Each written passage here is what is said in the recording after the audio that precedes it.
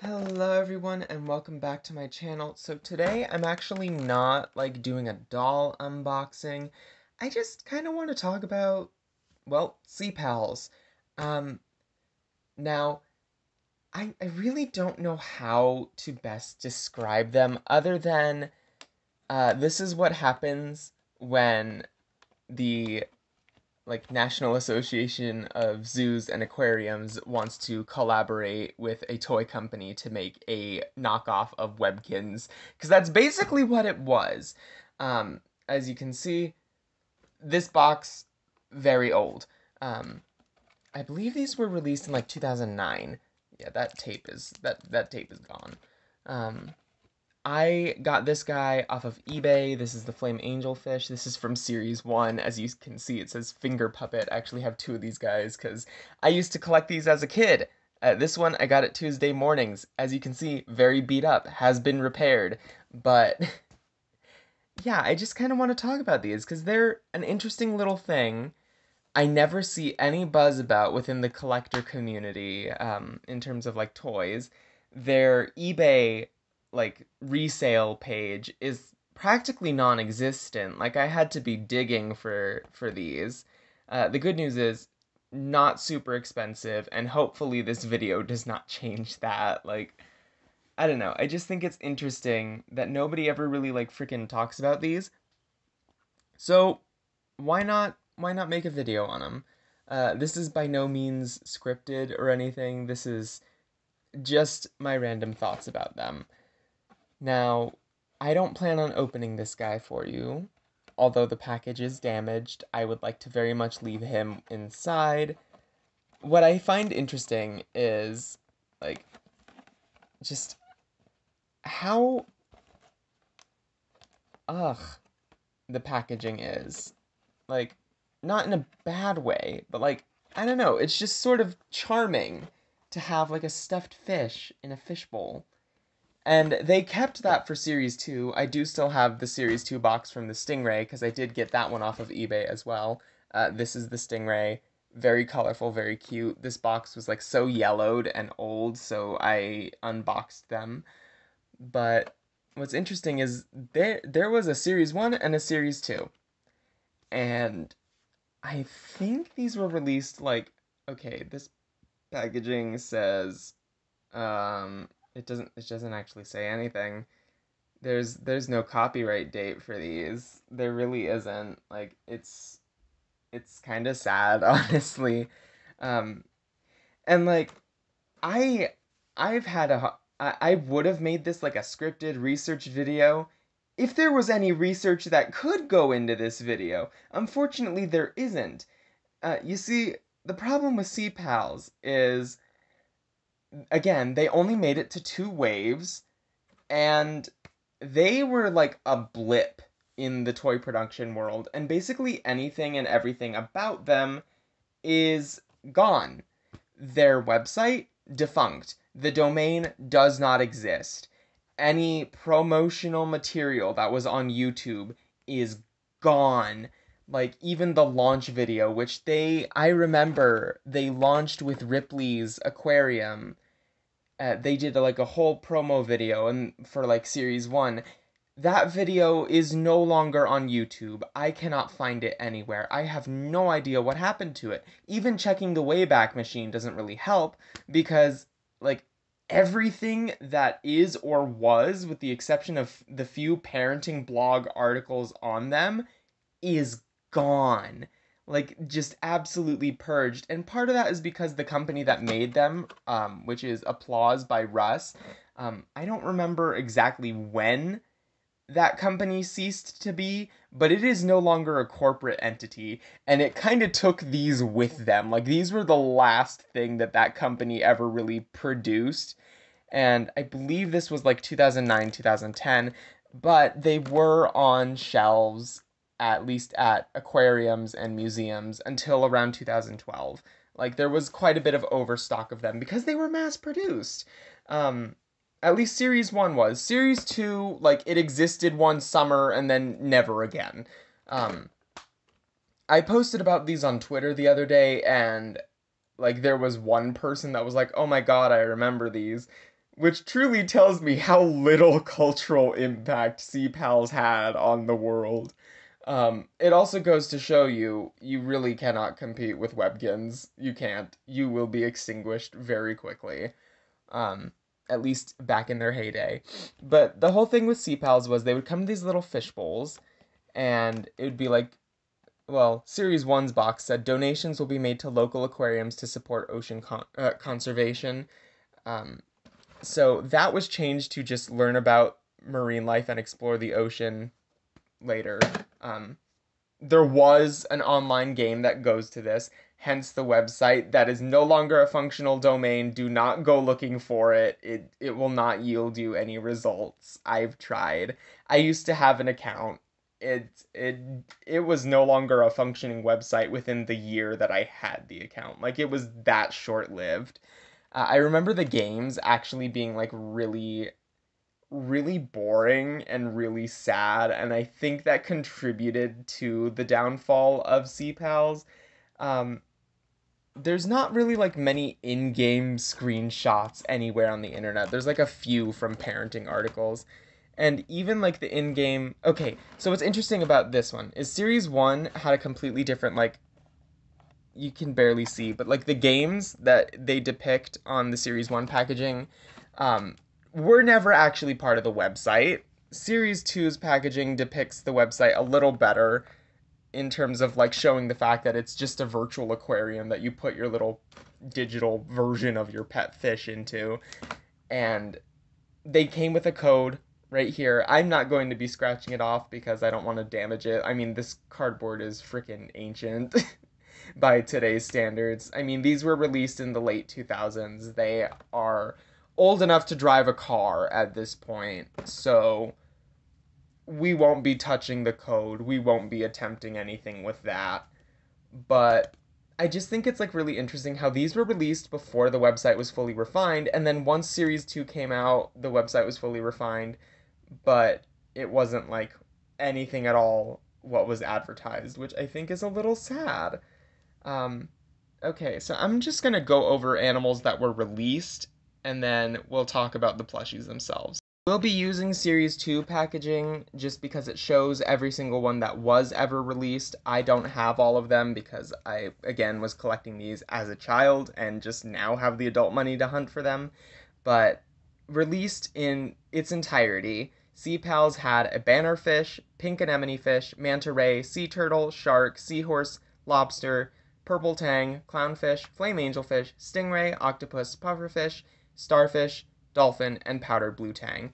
Now, notably, this little angelfish down here in the corner, this emperor angelfish, never released. There were images on the internet for a long time of three prototype fish that never got released, and that would be the Picasso triggerfish, the clown triggerfish, and the emperor angelfish. Those images are nowhere to be found on the internet anymore. And I distinctly remember them existing because I printed them out at one point as a child and I have them sitting in a box somewhere. But those three prototypes never released. It was rumored that they would be exclusive to a resort in Hawaii, but that never happened clearly. Otherwise, they would have popped up in the secondhand market by now. Um, so, this is just like the final lineup that the series had there were no additional fish made after this, and I think that kind of sucks because they are really cute. Anyway, let's go over the ones that I do have. Obviously, I have the flame angelfish. Um, I have two of the flame angelfish. This is the one I've had since childhood. As you can see, my mother had to repair it for me when I was a child. And these things were finger puppets. Like, I just.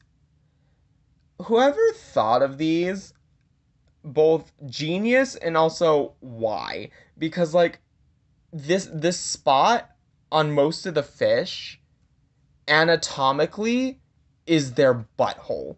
So you're fingering a fish basically in order to make them a puppet. And i think that's really unfortunate.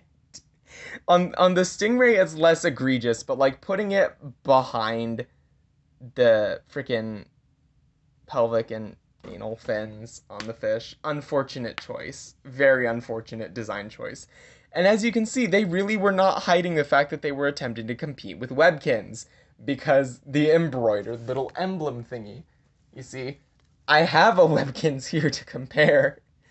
Um, drastically very different in terms of style, but you can see what they were going for with these. Um, now, here's the purple tang. This one, the eye got taken off by the dryer at one point during childhood. Um, these are actual glass eyes not really ideal for a stuffed children's toy if you really think about it. I mean, all the things that went into them. I could tell a story about this how this guy lost his eye cuz I used to take him with me to school every day when I was in elementary school. Um, after I got him anyways, it was like 4th grade year. Uh, yeah, one of my bullies chucked him at the monkey bars and both of his eyes went shooting off in different directions. Really not ideal for a children's toy. But I digress. They always had like embroidered details, which is really nice, and like the fabric quality is still really good after all these years. Um, and they are still really cute. I want to find another purple tang to keep in box because obviously this is sad. this is really sad. Um, I do have the powdered blue tang. This one shows up on the internet in terms of listings a lot less frequently, and I've noticed that about the Series 2 fish, which really is just like the whole. Um, now, Series 2 was this entire bottom row of fish. Like none of these existed prior to like series one series one came out. Um, and what I've noticed is series two's fish don't show up in the secondhand market as often, which leads me to believe they were cl- produced closer to cancellation of the line. But that also doesn't add up because I distinctly remember being able to find them at the same time as series one. Um, it's super weird but like the powdered blue tang I got at the Legoland aquarium actually. I distinctly remember getting the powdered blue tang there. That was like my first one. Um it's a very unique fish. You never really see these guys produced in terms of like any museum or aquarium memorabilia, which is another thing that I collect. Again, this is why I don't describe myself as a doll channel because I collect all sorts of stuff. But yeah, this one, never see it pop up in the secondhand market. I've seen one listing for it, and it was sold for a maximum amount of five euros, which is actually really sad. Uh, the Stingray, I do have. I had them for about a year and a half at this point. That's how recent of a purchase they were. Um, really cute, really colorful. This is their box, um, the box that they came in. I got them on eBay for like 25 bucks, which expensive for a plush toy. I don't even remember what these guys used to retail for. The one box I have that still has a price tag, as you can see, the price tag has absolutely withered off. I think their MSRP was somewhere around 9.99, which isn't bad. But like I I wish there was more information available about them because they're such an interesting little moment in just like toy history because they are really well designed. Nothing came of them, but like I still think they're really cool. And then the last one I have on hand today is the bannerfish. This one you would still be able to find at like Tuesday mornings and aquarium gift shops up until 2012. Series 1 lasted a lot longer than Series 2 did. Series 2 was phased out after about a year, but Series 1 was still available long after that, which I think is quite interesting. Um, now, the bannerfish, this one is probably in the best shape. It's because I never really played with it much as a kid. Um, this one also hides the finger puppet hole a lot better than the others do.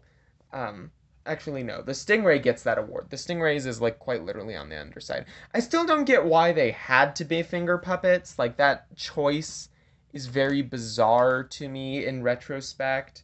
Um, I don't know why they couldn't just be like standard stuffed animals. And I think maybe making them a little bit more like Webkinz in the fact that their code would be in like a tag or something. Like, yeah, the packaging is cute, but do we really need it?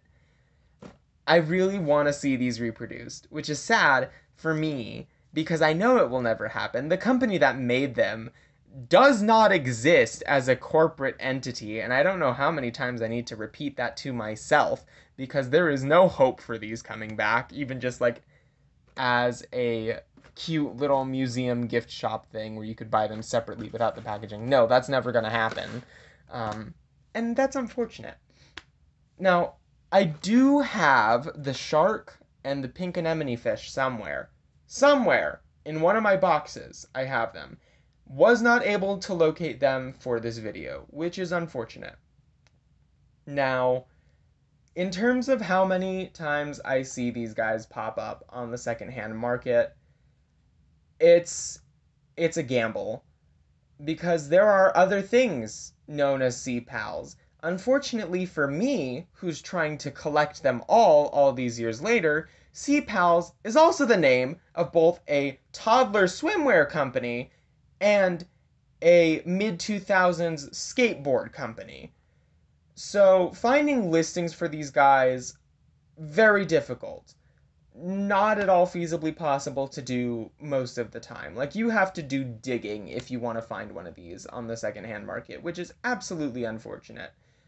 It also begs the question because these were mass produced, where the hell did they all go?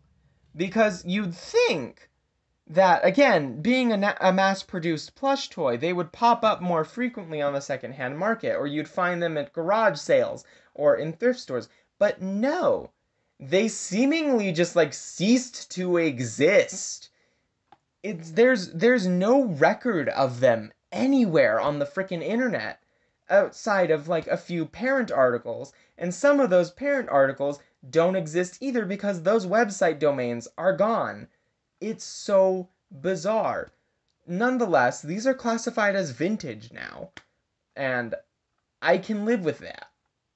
I just I don't know what the future holds for them. The future was never bright for them at all. Will they be remembered in the grand scheme of things? Probably not. Will they be remembered a little bit better now because I talked about them? Hopefully. But yeah, these guys, they're cute, but ultimately their existence was futile. that's a very sad note to end a video on, but that's all I have to say on Sea Pals. Did I jog some childhood memories? Let me know in the comments below. I thank you guys for watching this video. If you liked it, make sure to hit the like button and subscribe, and I will see you all next time. Au revoir!